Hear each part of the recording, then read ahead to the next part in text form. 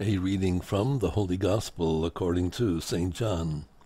Reclining at table with his disciples, Jesus was deeply troubled and testified, Amen, amen, I say to you, one of you will betray me. The disciples looked at one another at a loss as to whom he meant. One of his disciples, the one whom Jesus loved, was reclining at Jesus' side. So Simon Peter nodded to him to find out whom he meant. He leaned back against Jesus' chest and said to him, Master, who is it? Jesus answered, It is the one to whom I hand the morsel after I have dipped it. So he dipped the morsel and took it and handed it to Judas, son of Simon the Iscariot. After Judas took the morsel, Satan entered him.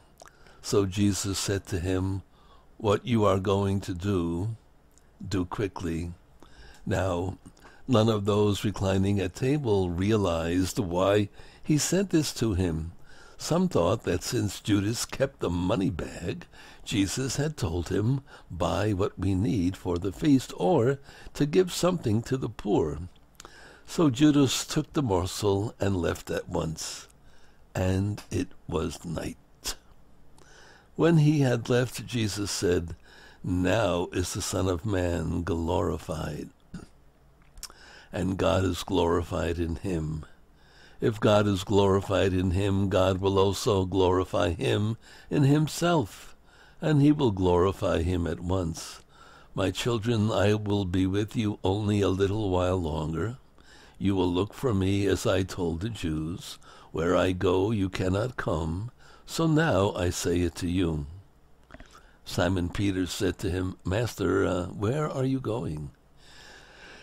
Jesus answered him, Where I am going, you cannot follow me now, though you will follow later. Peter said to him, Master, why can I not follow you now? I will lay down my life for you. Jesus answered, Will you lay down your life for me? Amen, amen, I say to you, the cock will not crow before you deny me three times. The Gospel of the Lord. Praise to you, O Lord Jesus Christ.